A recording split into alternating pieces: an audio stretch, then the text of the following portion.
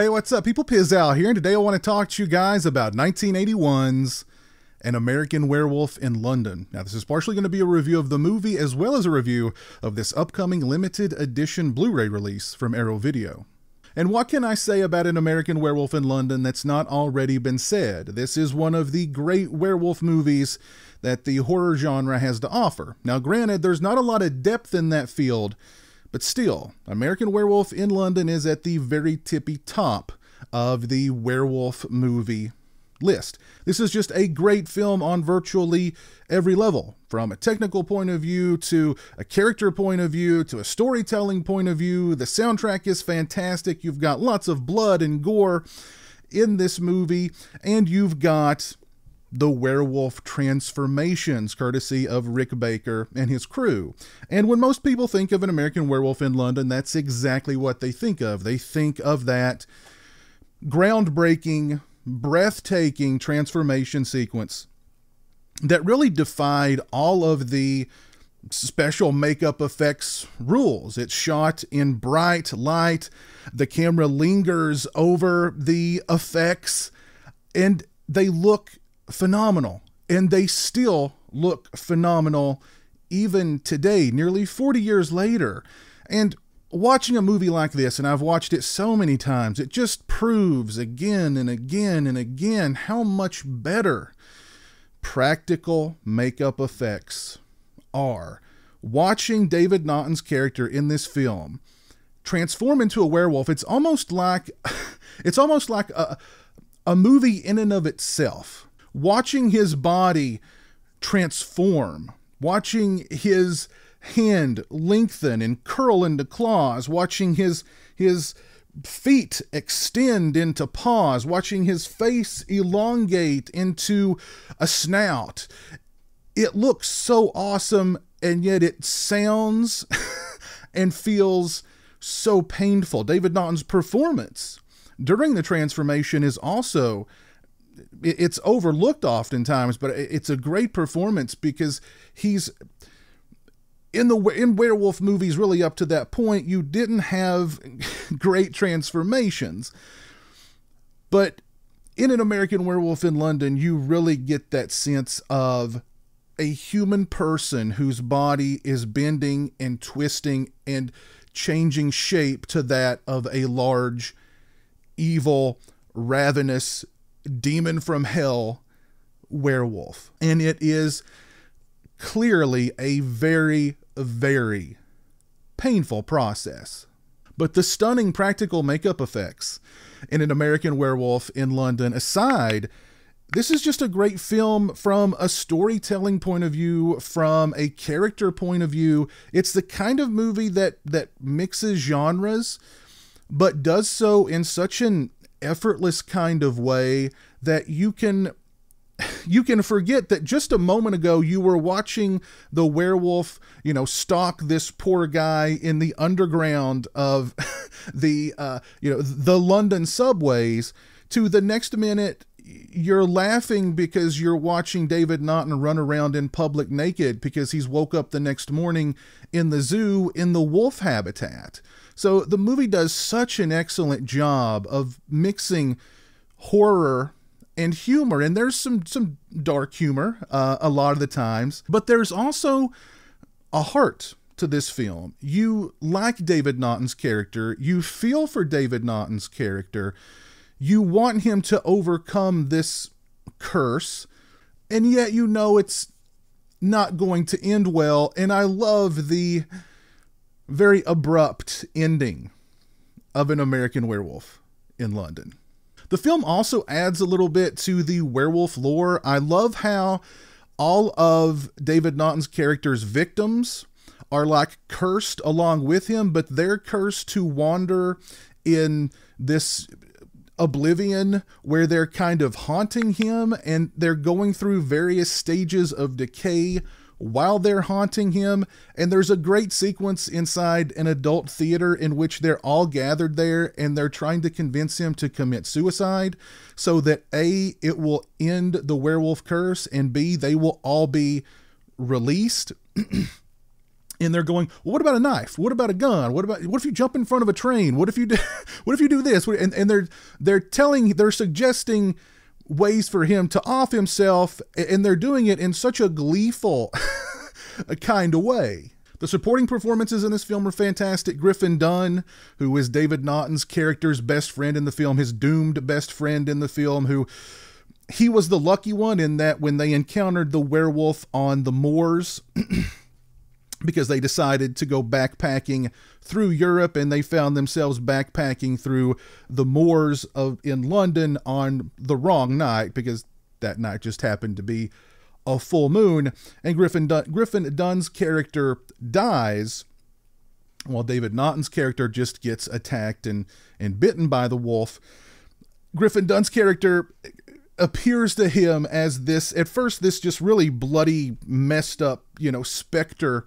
And then the more he appears to him throughout the film the more decayed he becomes. But he he supplies a lot of really uh, great dark humor in this film as well. Also jenny agutter is fantastic in this film as a nurse. She delivers a really good kind of heartbreaking and and sad performance because she falls in love with David Naughton's character. And again, you just know it's not going to end well. And there is a sadness, and that adds to the the sad aspects of this movie. This movie hits you from all angles. You've got the horror aspects, you've got the humor aspects, but then you also have sort of sad moments. There's a great moment in which David Naughton's character is in a uh, phone booth and he realizes that you know he he he can't do this. He can't be the werewolf anymore.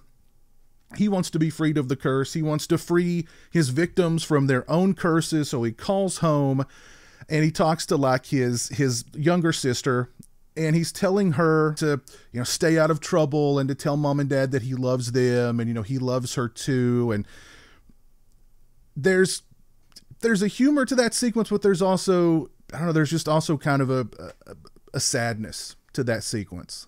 If you've not seen An American Werewolf in London, I highly, highly recommend it. This is one of, if not the very best werewolf movies ever made, hands down. If you've not seen the film, go out, see it. This Blu ray from Arrow Video would be a great way to introduce yourself to the film. If you're a fan of An American Werewolf in London, you definitely want to look into picking up this Blu ray release from Arrow Video and adding it to your collection. First, let's check out the presentation. This release features some very nice new artwork, and on the back of the box, we have a five pointed star. Everything comes inside this very nice, sturdy feeling case here, made of thick, uh, pretty durable cardboard, which is always nice. The Blu-ray case itself features the same artwork that is on the box. However, the sleeve is reversible. And on the reverse of the sleeve, you have the poster art for the film, at least the US poster art for An American Werewolf in London. This release also comes with six lobby card reproductions.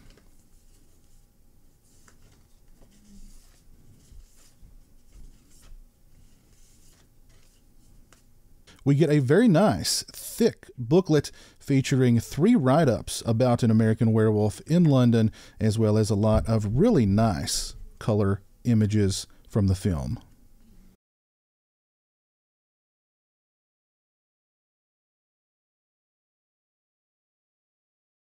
And lastly, this release comes with a double-sided poster. On one side, we have the new artwork, which is featured on the cover of the Blu-ray release. On the reverse, we have what I do believe is the original uh, UK poster art for An American Werewolf in London. As far as the picture quality and sound quality on this release, this release features a new 2019 restoration from the original camera negative, supervised by John Landis. The picture quality on this release I thought looked really good. I would give it a solid 4 out of 5. Uh, the picture quality had that great kind of film grain look to it. It didn't look the only word that comes to mind is digitized, where they go into an older film like this and they they clean it up a little too much and they make it look almost like it was shot, you know, on digital. Um, this you can definitely tell this film was shot on film. It's got that great film grain look to it. It is a little overly grainy in some of the darker sequences, however but I thought the film looked great on this release. The audio quality also, I'd give a solid 4 out of 5 too. I listened to it with both the Mono 1.0 and the 5.1, and I thought both sounded absolutely fantastic. So I'd give the picture quality a 4 out of 5 and the audio quality a 4 out of 5 for this release. As far as extras are concerned, First up, we have Mark of the Beast, the legacy of the Universal Werewolf.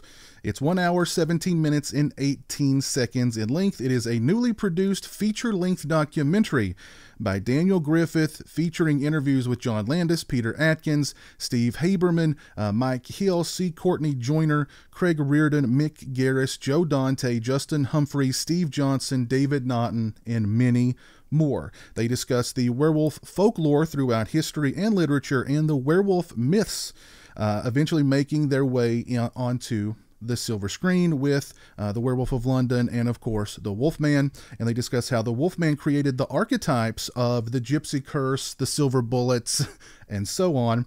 Uh, they discuss the makeup and transformation techniques used to turn Lon Chaney Jr. and Henry Hull into werewolves. They discuss the Universal monster mashups and the decline of the Universal monsters, their resurgence on television, and how Hammer picked the ball up and remade a lot of the Universal monster movies, including The Curse of the Werewolf.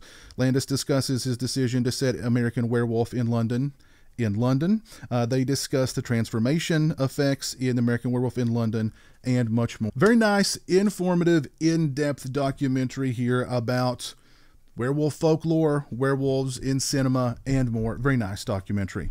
Next up, we have an American filmmaker in London, a new interview with John Landis, in which he reflects on British cinema and his time working in Britain. It's 11 minutes and 41 seconds in length. Mr. Landis discusses his love of British cinema and working in Britain with British cast and crew members. Next up, we get Wares of the Wolf, in which special effects artist Dan Martin and Tim Lawes look at some of the costumes and special effects artifacts from An American Werewolf in London. It's 7 minutes and 58 seconds in length. We get to take a look at one of the red puffer jackets used in the film. We get to see one of the heads of the Nazi werewolves used in the dream sequence, uh, and we get one of the changeo heads uh, used during the werewolf transformation, which still actually works. It has like some servos and stuff in it that still work, and it's that was pretty cool. Uh, next up, we get I Think He's a Jew, The Werewolf's Secret. It's 11 minutes and 26 seconds in length. It's a new video essay by Jon Spira about how American Werewolf in London explores Jewish identity. Very interesting. Next up, we have The Werewolf's Call, in which Corin Hardy, director of The Hallow and The Nun, chats with writer Simon Ward about their formative experiences with an American Werewolf in London. It's 11 minutes and 26 seconds in length. Mr. Ward and Mr. Hardy discuss their first impressions of An American Werewolf, how the film balanced humor and horror, and how the film's effects inspired the creative uh, or the creature designs in The Hallow, and more.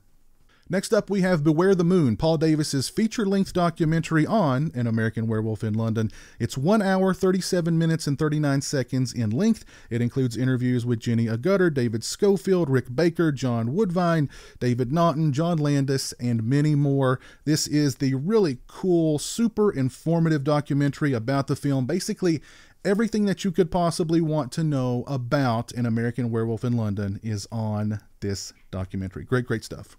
Next up, we have Making an American Werewolf in London. It's 4 minutes and 54 seconds in length. It's a vintage making of featuring an interview with John Landis, and it includes some very nice behind the scenes footage from An American Werewolf in London. Next up, we have an interview with John Landis. It's 18 minutes and 19 seconds in length. It features interview clips with John Landis directed by Adam Simon, which was part of a longer interview with Mr. Landis that you can also see on Adam Simon's brilliant documentary, The American Nightmare, which I did a review for not long ago. I'll post a link to it around here somewhere. Go check that out.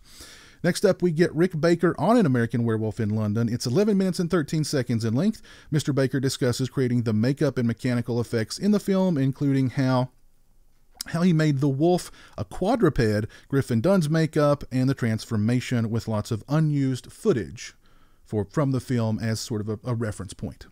Next up, we get I Walked with a Werewolf, an archival interview with Rick Baker about Universal Horror and its legacy of Wolfman films. It's 7 minutes and 30 seconds in length. Next up, we get Casting the Hand, archival footage of Rick Baker's workshop as they cast David Naughton's hand. It's 10 minutes and 59 seconds in length. We get 3 minutes and 7 seconds of outtakes. We get a storyboard featurette, which is 2 minutes and 27 seconds in length. We get original trailers, and we get a pretty extensive uh, image gallery. We also have two commentaries on this film. Uh, one commentary with Paul Davis, the director of the Beware the Moon documentary, and the other commentary is with David Naughton and Griffin Dunne. I listened to about half the movie with Mr. Davis's commentary, and the other half with Mr. Naughton and Mr. Dunne's commentary. Uh, Mr. Davis is very informative when it comes to his commentary for the film, uh, as you would suspect, since he directed the Beware the Moon documentary. Uh, very nice uh, commentary with Mr. Davis, at least for about half of the film that I watched with his commentary. The commentary with David Naughton and Griffin Dunne was also entertaining, although there were large gaps in which nothing was said. So there were long gaps of silences, and then the two would kind of start talking about a sequence or what was happening behind the scenes. Uh, when they are talking during this commentary, it is pretty entertaining, I do have to say. This is a loaded release for An American Werewolf in London from the fine folks over at Arrow Video. You've got a new restoration of the film, which looks great. You've got great sound quality, a great presentation here. You've got tons of extras on here, both new and archival. This is sort of the ultimate release of An American Werewolf in London. You get a poster, you get a booklet, you get some cards. It's this is just a really, really nice set for an American Werewolf in London. I'll post a link to Arrow Video's website down in the description. Again, if you've not seen an American Werewolf in London, I cannot recommend it any higher. This Blu ray release would be a great way to introduce yourself to the film. If you are a fan of an American Werewolf in London, you definitely want to look into picking up this release and adding it to your collection. Please let me know your thoughts on An American Werewolf in London down in the comments section below. Let me know what your favorite werewolf movie is down in the comments section below. If you like this video, please leave it a thumbs up. If you're not following me on social media, those links are in the description. They're also right around here. As always, thanks so much for watching. I really appreciate it. Hope you guys out there are all having a great, safe, healthy, happy, and horror movie filled October. Take care, and until next time, peace.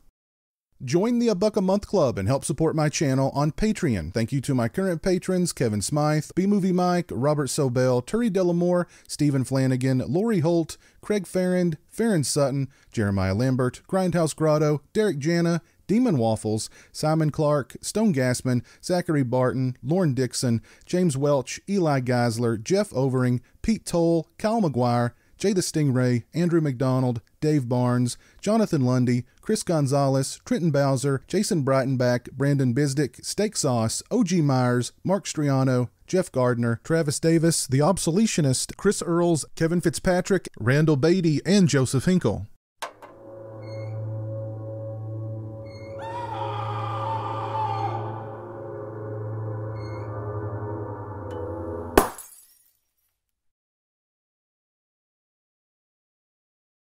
Say hello to the internet, Jeremy. Hello to the internet.